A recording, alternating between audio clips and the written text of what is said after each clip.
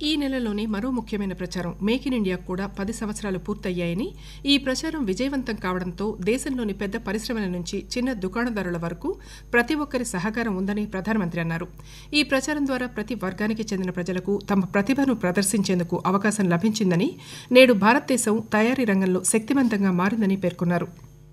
Make in India आज मुझे ये देखकर बहुत खुशी मिलती है कि गरीब मध्यम वर्ग और एमएसएमईज को इस अभियान से बहुत फ़ायदा मिल रहा है। इस अभियान ने हर वर्ग के लोगों को अपना टैलेंट सामने लाने का अवसर दिया है।